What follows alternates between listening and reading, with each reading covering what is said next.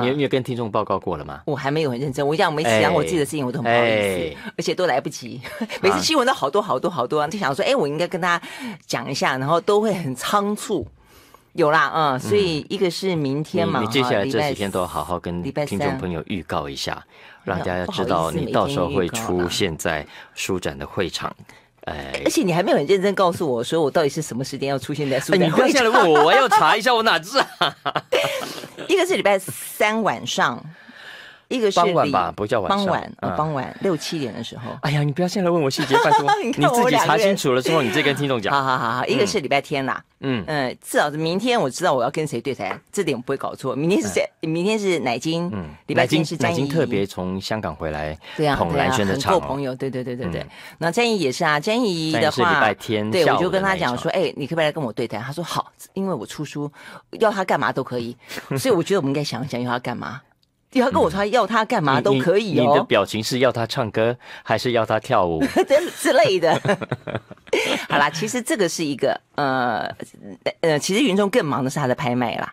你有个古书拍卖嘛？其其实今年今年呃书展很热闹，很热闹吗？整个书体呃，如果你对德国有兴趣，今啊，年主，题是德这次主题国是德国啊，嗯，那另外，其实我们早安财经 十几年来都没有参加书展，嗯嗯今年是世界前跟我讲第一次，对，对吧因为为什么啊？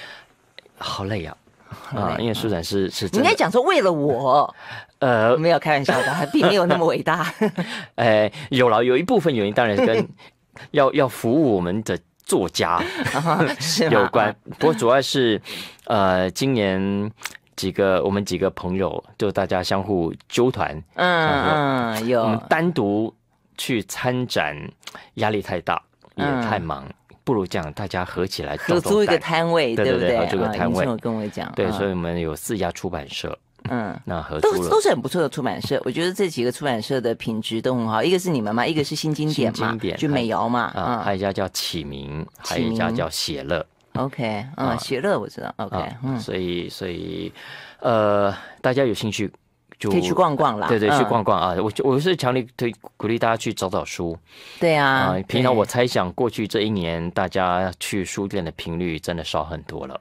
对啊，对啊，那你一定也错过了很多呃，你可能会需要用到的书，对所。以去书口这样逛，逛。即便我自己那么常看书哈，我每一年书展我都还是会去，因为我觉得他规划的一些东西就还是有意思啦。像去年是以色列嘛，哎，我觉得你也许这两天可以帮大家整理一下过去这一年你出过的书，哎，不，你讲过的书，嗯嗯，然后也许听众朋友有兴趣，就可以借这个机会去找一找。哦，这样子，OK，呃，对啊，那 OK，赵少康先生在外面给我们拜年，太感人了。他应该是要进来发红包的，但是我们现在正在录音，那拿不到赶快开门，红包赶快开。门！好了，我们待会追出去好了。对，因为即便人长到那么大了哈，这个想到红包跟压岁钱哦，还是真的那个快乐是永远没有没有办法抹杀的。嗯我们待会一定要追出去拿。好，所以我们刚刚讲到，对啦，舒展，我觉得你这样讲也是一个哈，可以想一想，嗯帮大家呃整理一下。OK，嗯对，那然后逛书展很好玩。那再来一个，就是因为去年我会觉得比较好玩是，呃，除了以色列的主题之外，因为云聪他们去年做了一第一次的拍卖嘛，那因为你们的拍卖场就在呃国际书展的楼上，所以我也顺道上去看，这个很好玩。就是说台湾有这种古书的拍卖，这算是第一次，也吸引了很多呃，算是不止台湾了，华人啦、哦等等。今年我看到有一个更更厉害的是，你们有一个是在西元四百九十几年的古书啊。一千四一四九九年左哦，右一。四九九，我自己少了一千。OK，那也很早以前了。OK，呃，这两年，今年是第二届了。嗯嗯，从去年开始，我们找了呃很有名的股市专家，叫傅月安。嗯哼，嗯，他本名叫林角红。嗯啊、请他来主持一等下，场你。说傅月安本名叫什么？林角红，林角不知道红哦，真的不知道。我只知道他的绰号叫鱼头，不是吗？哎，对对，绰号叫鱼头。那鱼头是一个杜鱼头啦，他其实是杜鱼头。啊，杜鱼，OK，啊杜鱼真的在台湾专专书籍的。对，台湾大大小小的老书店，他真的是如数家珍，嗯嗯非常厉害的。那他对古书、真本古籍非常非常有兴趣，所以从去年开始，他办了开始办了第一届的、嗯呃拍卖。那今年我们这是第二届，嗯哼，那今年收藏呃拍卖的东西又更多了。嗯嗯，很有趣。今年几几个几个重头戏啊。首先第一个呢，他们哪里找来的？反正这些书的我觉得不哪里来。第一个当然是你讲的，呃，我们知道印刷术是古腾堡发明的。嗯，就大概是一四多年，OK。那古腾堡发明印刷术之后，就开始培养一些师傅啦，也开始印刷啦、装帧的这一些啊。所以在发明之后的这五十年，等于是师傅们培养茁壮的年代。嗯，所以这个年时期出的书印出来的书，我们都叫做摇篮本。嗯，就孕育这些书籍、印刷书籍的摇篮，就是对对对对对，叫摇篮本。那他这一次呢，居然找到一本呢，哎，一四九九年，对啊，我我也觉得蛮特别，出版的意大利的书，嗯，那也就是五百二十年前。对呀，五百二十年历史的所以，你看到现在都还。我比较好奇的，这个 藏家是谁？嗯，他为什么要拿出来？这个其实，在欧洲，呃，是一直有藏书家在收藏这种等级的东西的。那呃，过去呃，佳士得，嗯，呃，Christie，嗯，据说都拍卖过。嗯，那他现在取得了这一本啊，在上一次也是出现在佳士得的拍卖场上被人家拍下来。那买主是一位台湾的买家。哦，这样子，哦，台湾买家，对，那他收藏之后，呃，这一次特别，我觉得就是觉得要捧鱼头的场，哦，就拿出来呢看一看，就是见识一下什么叫摇篮 本，真的真的，这是我，你看我们做出版这么久，第一次看到，对对对，我有看到鱼头，我有看到照片，鱼头上面拿着这本古书，但是这个封面是皮质的封面，小牛小羊皮。OK，你就想象那种古书的那种感觉，那个光泽，那个皮都已经变得有点黑，接近黑色。亮亮。但我很好奇是，哎，里面的纸，嗯，不会粉，就是不会碎墨化吗？不会是不但不会，而且它的墨汁，它不像现在的墨汁都化学墨，然后呃都有个新呛鼻的味道，放久了其实也也没什么特别。但是那个纸啊，啊，我觉得你应该叫鱼头拿来给你看的。那个纸他可以这样拿出来给我看吗？我可以摸它吗？呃，应该要戴手套。嗯嗯。不过不过基本上也他也许可以，真的哈，你可以或者你找来跟他约是，然后加了墨汁，我就好了。不过大家也可以去看啊，因为如果说在拍卖会上的时候，大家就看得到啊。拍卖好像是在二月十七号，然后他在二月十礼拜天礼拜天二月十五跟十六号，他们有在华山嗯预展。也说这一次参展。的拍卖品，呃，大家可以上网去搜寻一下“春风四友”，嗯”，呃，应该就可以查到呃预展的时间跟地点。嗯嗯，可以去看一看。对对对，因为我觉得就光是去鉴赏、去欣赏这些所谓的古书珍品都很难得。这是当然，如果你有财力，你可以去买啦。据我所知，我不知道我自己有没有有没有弄错。我知道我从我做出版以来，做媒体以来，从来没有看过这样的版本出现在台湾。嗯，在欧洲大陆有，但是台湾从来没有。嗯，但他这一次的拍卖，除了这一本之外，哎，还有金庸。哦，金庸不是三十六本吗？嗯，他是天字第一号远流出版的。哦，那个版本。OK，这次他也拿出来拍卖，然后他好像还有，哎，还有当年在报纸上，嗯，在香港报纸连载，嗯哼，的那个报纸啊，嗯。哦，报纸就有收藏家拿出来拍卖哦哦这样子，其实很特别。你会发现不同呃，金庸当时在报纸连载，你知道都有截稿压力，对对对，那个版本就会跟最后我们看到的版本不太相同，不太一样，不太一样。哎，你这样讲说报纸还留着哈？哦哦，那所以显然为我这个还留报纸的怪癖给了一个理由，我想说，不过我已经清掉很多了。我们以前，我我基本上认为我我我们这种一般的叫做拾荒拾荒老人，不叫收藏。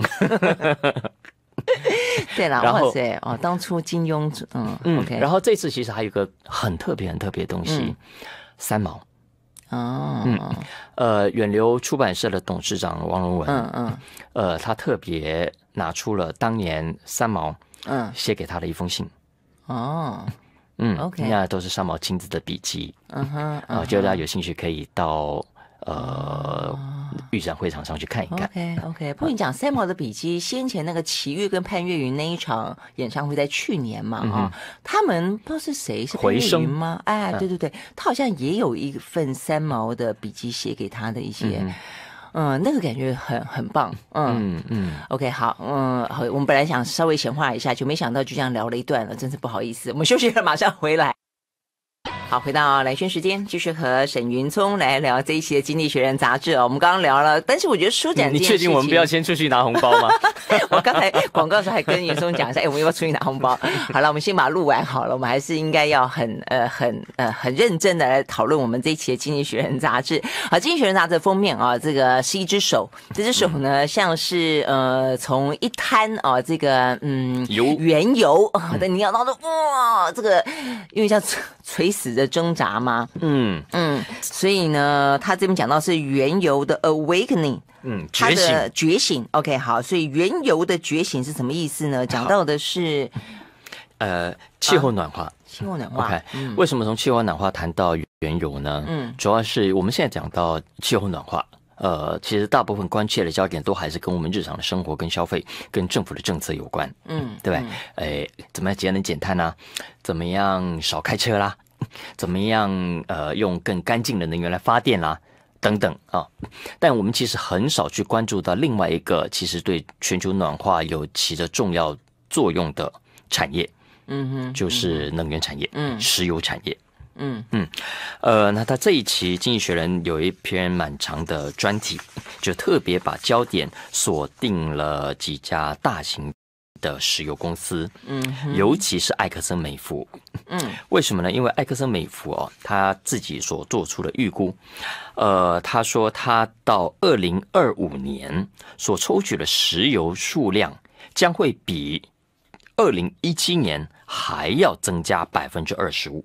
嗯哼，OK，那其他的业者如果跟他一样的话，经济学人说，我们所面临的环境危机，嗯面临的气候暖化的危机，会来的更大。还会来的更加严重。嗯嗯，对啊，因为我觉得，呃，用石油，那你说燃油的方式，必然的就不会就会造成一些污染嘛，嗯啊，空气污染。没错，那所以那怎么办呢？嗯主要是不只是现在了嗯啊，主要经济学人其实要告要提醒我们的是，呃，我们现在气候暖化已经迫在眉睫了。嗯你看我们现在，呃，光是拿美国过去这一年来所发生的极端气候，对啊，的你看我灾难们过年前那个时候，美加大地面临的是极地涡旋气候，嗯。零下二三十度、哎、嗯，你看芝加哥有多冷，对呀、嗯，然后连地底下的水管都会冰冻，然后爆裂开来，然后这样的一个状况。然后回到我们的过年，我就说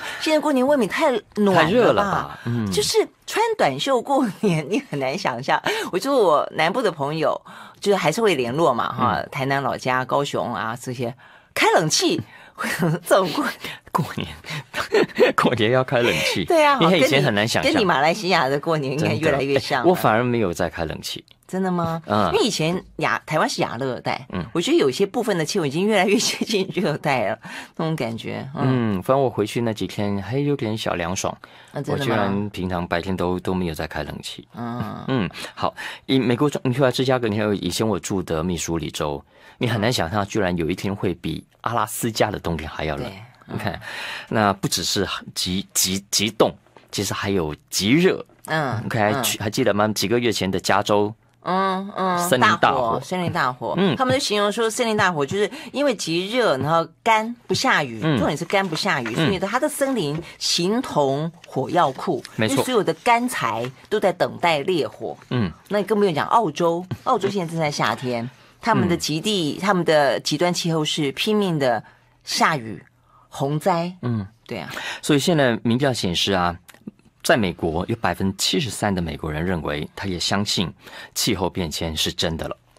尽管川普一直只有川普不相信。对对，但是绝大部分的美国人现在已经接受嗯对这件事情非同小可，哎，恐怕得正视它才行了啊。嗯但即即便是如此，我们其实看到我们。平常的消费，如果按照经济学人这一期指出的，我们对石油的需求量不变的话，这个问题还会加更加严重。嗯因为刚才只是讲埃克森美孚，但其实全球五大石油公司，包括其他的雪佛兰，呃，包括 Royal Dutch Shell，包括 BP，包括 Total，、呃，这些其实都预估未来的需求还会再进一步的成长。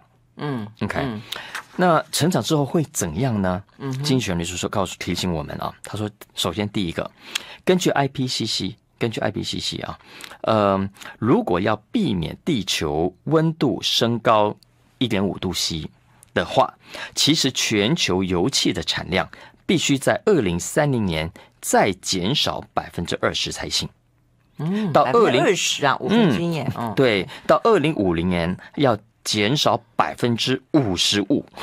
嗯，也就是说，大概四十年后、四十年后、呃三十几年后，要比现在再少一半嗯的能源才行，油气的产量。嗯，但问题是你减少，你要拿什么东西去递补呢？一点都没错最，大的问题啊！是啊你说我们好了，我们所谓的非核家园，现在民进党政府的呃期待是到二零二五年百分之五十是天然气，哎，嗯，这这边讲到就就是呃，我们看到经济学人是期待它要降百分之二十的，我们反而要增加，我们要增加到我们所有能源的占比是百分之五十，哎，嗯，你说呃我们台湾、绿能吗？你说哦天然气，天然气，天然气，嗯，我们绿能希望达到百分之二十，嗯嗯嗯，嗯，那我们现在就是说。核能百分之十八嘛，原本后来是百分之十三嘛，那现在通通都不要的话呢，通通都尾油天然气。本来是说火力发电啦、煤啦，但是煤的空污实在太太严重了，所以我们就说啊，天然气它的 CO2 的排放量是煤的一半，所以我们就希望呢增加天然气。啊，但是天然气还是会造成空污，还是会造成当然了，当然气候暖化。嗯，而且我们现在面临的困困扰是，呃，几个听起来大家很很重视的，呃，节能减碳，嗯。的策略跟产业，嗯，看起来很热，但实际上规模相较于传统的发电啦跟能源的方式，还是小巫见大巫啊。嗯你看，你说再生能源，呃，没有错，现在其实投资金额也蛮大的，每年大概有三千亿美金以上啊。但是相较于传统的能源，仍然是小巫见大巫的。是你看啊，，呃，在交通上，我们都知道车子排放很多的废气。呃，电动车看起来是未来，可是呢，电动车虽然在成长，可是按照产业的估计，即便到二零三零年，差不多十年之后，在高速公路上仍然有百分之八十五是我们一般的正常的车子，嗯，而不是所谓所谓的电动车。嗯，这样子吗？啊，嗯估算是这样，而且电动车那它的电哪里来？又回过头来，电一样是燃煤或是燃气来、啊，嗯，一点都没错，。一点都没错。所以，呃，投资界、金融界，当然这几年也发现啊，这种绿能啦是个好投资，嗯。呃，环境友善啊是个好投资，嗯。但所以我们都称之为叫道德投资嘛，啊。呃，没有说，而且更何况，呃，的确很多新兴的产业，嗯，看起来成长还不错啊，嗯所以是直接投资。可是一定要投资啦，只是说它的成长缓慢，它的成本高，而且它的不稳定性比较大。可是要知道，相较之下，传统的油气还是很好的投资啊，嗯，还是很赚钱的投资啊。你知道，欧洲二十大发行股利、发放股利最大的企业当中，其实五大石油公司里头上了四家。嗯嗯 OK，好，所以所以这是目前所在未来这几年面临的挑战。经济学说，未来十五年是非常关键的十五年啊、那他的想主张是，他认为减碳是可行。的可行。嗯，但政府要让老百姓知道这点，而且不会带来多大的不方便。嗯 那所有的企业其实都必须赢变才行。嗯哼，嗯嗯哼，所以他还是认为要往那方向走。那至于替代的部分，他有更好的主张吗？呃，有，他其实就是认为政府必须要介入，但其实也不是什么大规模的介入行动。呃，重点其实就在于这些石油公司，它是必须被引导到一个更。呃，环境友善的经营策略跟、跟科技的，因为否则现在其实这些石油公司也都承诺说，哎，他都支持所有的巴黎协定，嗯嗯 OK，但是观其行，嗯，其实又完全往相反的方向走，所以他其实提醒各国的政府，其实要特别除了我们过去关心的再生能源啦、电动车啦、呃道德投资的领域之外，其实石油产业。呃，是一个不容被忽视的部门。嗯，所以他自己本身必须要能够做到更更想办法能够降低对于环境的破坏就是了。OK，我们休息了再回来。好，回到蓝轩时间，继续和沈云聪来聊这一期的《经济学人》杂志。好，聊完呢封面故事啊，讲到这个能源产业跟气候变迁，讲到说好，如果呢这个世界还是一样，呃，对于油气啊这个嗯需求这么高的话，这个产业自己本身可能必须要做到节能减碳。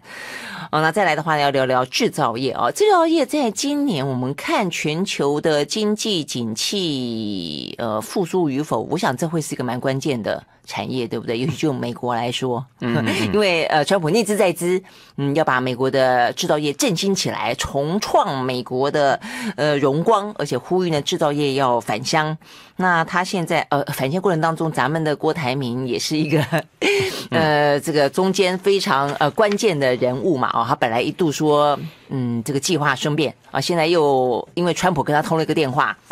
然后呢？哦，要继续投资，继续投资啊！因为他在川普的呃汽制造业的复兴计划当中扮演着举足轻重的角色啦。嗯嗯，没错。这一期的 Business 的头条啊，其实谈的是呃，我觉得我们台湾呃应该要关心的题目哦，谈的是美国的制造业嗯复兴中。嗯，文章一开始呢，镜头是带到威斯康星州。嗯，那就是郭台铭老叫 Mount Pleasant 的这个城市啊，过去死气沉沉，你还只能看到南瓜田，但是现在哇，开始有工厂了。嗯，OK，这工厂就是郭台铭的工厂。OK，郭台铭当时在二零一七年承诺的是会在那里盖一个工厂，呃，准备要生产高阶的电视机。嗯哼，OK，呃，威斯康星。州会补贴四十亿美金，而郭台铭呢，富士康会创造一万三千个就业机会。嗯，你看，平均年薪可以达到五万四千美金。嗯，OK，大概一百六七十万。嗯，OK，这种每个人呢？平均啊，平均。OK，OK，这当然高阶的会很高，但其实一般的劳工不算高的。嗯嗯，这也正是。呃，现在的这个工厂会出现问题的原因，嗯。嗯，因为郭台铭富士康发现，诶，请问接下来工人从哪来？对啊，OK，要知道，呃，盖这个虽然号称是高阶的电视工厂，那基本上工厂就是工厂，嗯，就是装配线上的工人，嗯，那郭台铭富士康遇到的问题是要去哪里找这么多的愿意长时间，嗯，待在装配线上辛苦的工作，而相对薪水。又没有那么高，嗯哼的的的人，嗯嗯，OK，是啊，哎，其实当初之所以美国的制造业会外移，跟当初台湾的状况是一样的，啊就是就是当地的人不再愿意用那样的薪水去做那样的那么劳力性的工作嘛，嗯，那所以只好逼得他们的制造业外移，对，所以现在呢，川普要求这些制造业。落地生根，那问题是你人才从哪里来？我记得后来郭台铭说他去找退伍军人呢，是，所以找不到人呢。其实目前为止，富士康的承诺都还是比较广泛的，就比较模糊的，就是还是承诺说，嗯，呃，好，我们还是会留下来，呃，但是我们策略会改变，经营方向会改变，那我们还是会生产高价值的产品，但细节并没有再讲了。OK，OK，那其实遇到同样问题的不只是富士康，嗯，哎，包括瑞典很有名的家电品牌是 Electrolux，他在一月三十一号也宣布要关闭他在田纳西州曼菲斯市的烤箱工厂。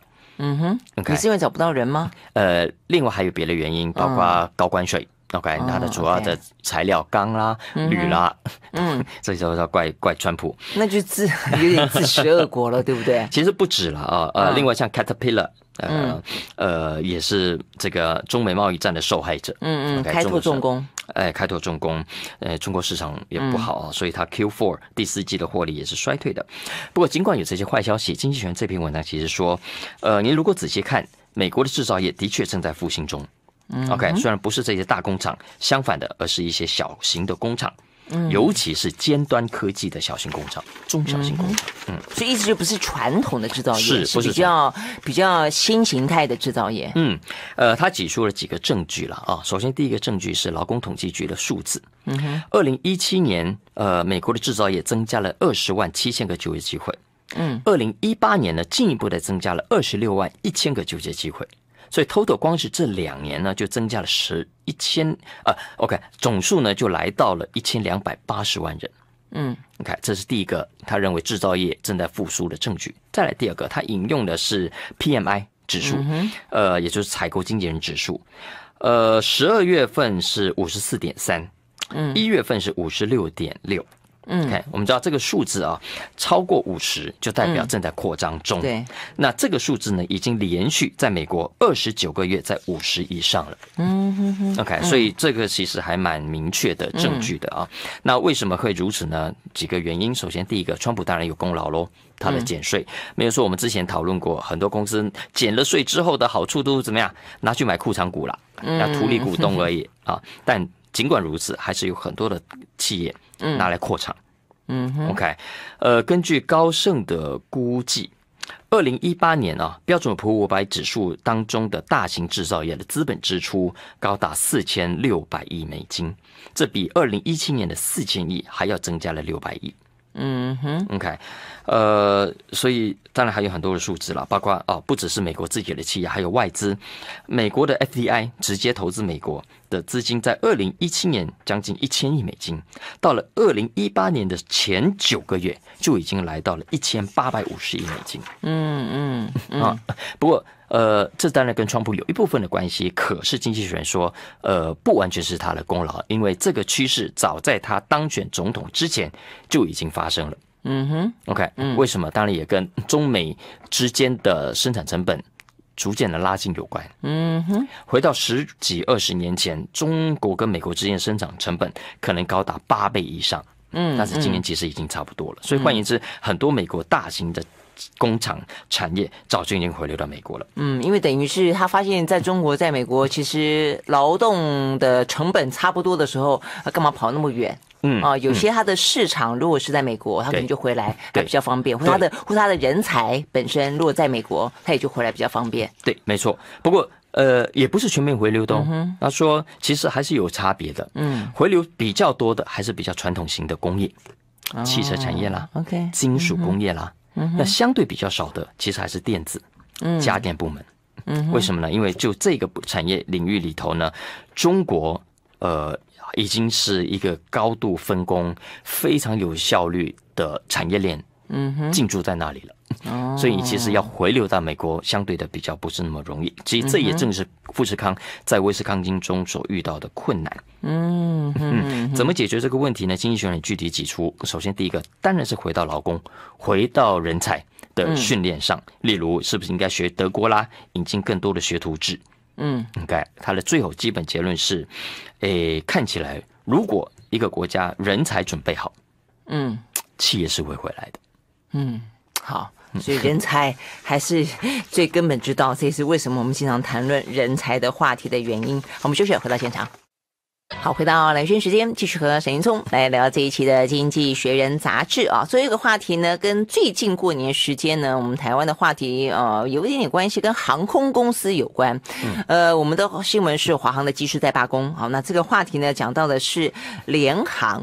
嗯，廉价航空不是联合航空的联。OK，好，对，廉价航空好，廉价航空现在其实提供大家很好的一些呃比较低成本的，但是呃很多元的选择啦哈。但是廉价航空也还是有它的困境。OK，其实讲航空公司啊，我们其实很多人都会觉得，哎呀，空姐薪水很高哎，机师、机长是啊，薪水很高哎。但但其实啊，你如果你再这样讲，他们都说你在污名化。妹妹，我正好相反要提醒大家，其实航空业是一门很辛苦的生意。嗯，对，它其实是一个毛利率很低的。嗯哼，呃，一旦一旦例如国际油价飙涨，很多航空公司是容易赔钱的。嗯哼，嗯嗯，那但是但是其实这门生意因为它规模很大，对，所以即便是门槛很高，所以门槛很高，所以进入者不是那么容易。再加上说，因为金额很大嘛，哦，所以呃，即便是很低的毛利，呃。换算成金额，真的能赚钱，其实还是比大钱啊。嗯嗯，所以还是有很多的有钱人正向投入。呃，这期《经济学人》一篇文章很有趣，他谈的是廉价航空的商业模式。你看，过去我们其实谈过廉价航空，大家有没有发现，其实主要是以短程为主的？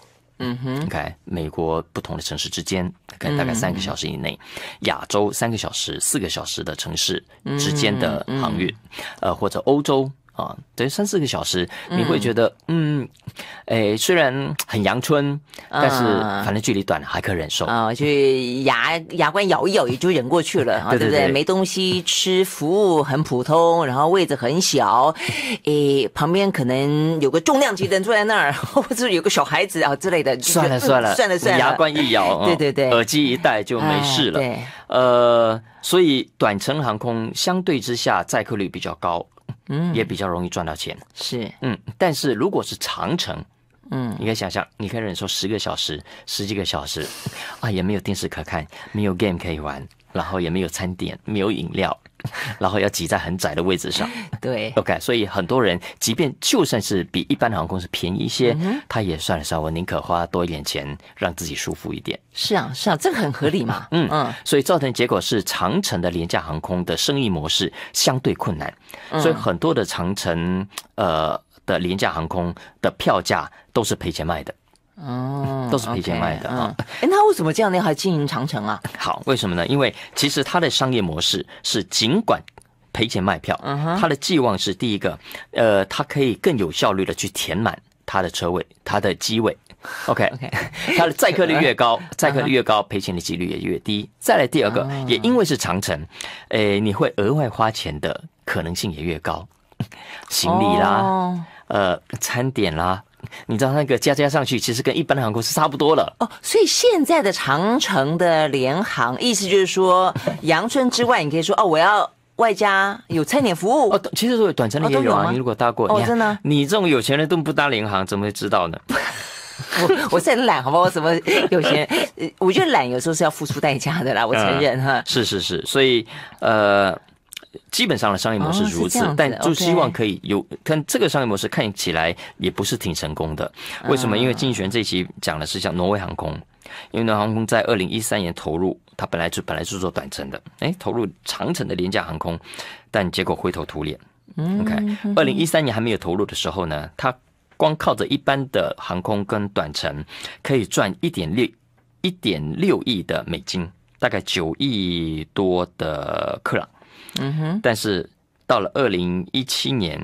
呃，二零一八年嗯倒赔了，倒倒赔了三十几亿啊！不，我觉得像你讲的，啊，我觉得现在的消费者都很精嘛，还以为去算呢。你说阳春，然后哈不啷当东加一个西加一个，然后让你觉得说勉强可以撑过长城。那如果跟一般的航空一样的价价钱的时候，那消费者干嘛去这样子这样子去买单呢？不会啊，就是其实还是会有真的想要省钱的，例如像我们以前那种穷留学生，嗯如果有廉价航空，就咬着牙十个小时，对对对对对对对，把自己打昏。或者我我就是想要自助旅行，背包客非常有限的预算，呃，你提供了另一种更便宜的选择，其实也是不错的啊。所以所以其实呃，这也不是一门说挺坏的生意，就是你往乡看，真的有这样的，尤其现在的年轻人重视体验嘛，哦，所以有这样的需求。所以其实不只是廉价航空出现了很多，包括一般的正常的航空，你也发现它也在转投资这种廉价航空。台湾的、亚洲的、美、欧洲的，是欧洲三大航空都有。OK，但这种廉价航空，呃，现在如果它的经营模式，经营学的这一篇文章其实提醒，如果它的经营模式没有法成功的话，就算它成事不足，比较麻烦的是对消费者来说，它败事有余。嗯，好，为什么呢？因为呃，大家想想，如果当挪威航空啦，像这些航空，它的廉价航空。不成功，然后或者像 Primera 丹麦的，或者是冰岛的 Wall，OK，这些来讲都已经很糟了啊。如果都不好都不行，就只剩下这些呃三大航空转投资经营的廉价航空的话，大家可以想象他们未来会不会提高票价？因为竞争者变少了嘛。哦，OK，所以意思说你可能会搭到比较贵的，但是服务一样差的。或者比较差，就是服务一样比较少的啊，航空。价钱不廉价，但是服务很廉价的对对对对对对对对，嗯，所以所以这是一个为什么我觉得大家可以观察一下的的趋势啊，那就是说看起来长途的廉价航空势必要找到一个更能持续的生意模式、商业模式才行。嗯哼，OK，好，所以呢是这一期的《经济学人》杂志，OK，谢谢沈云聪喽，谢谢，拜拜。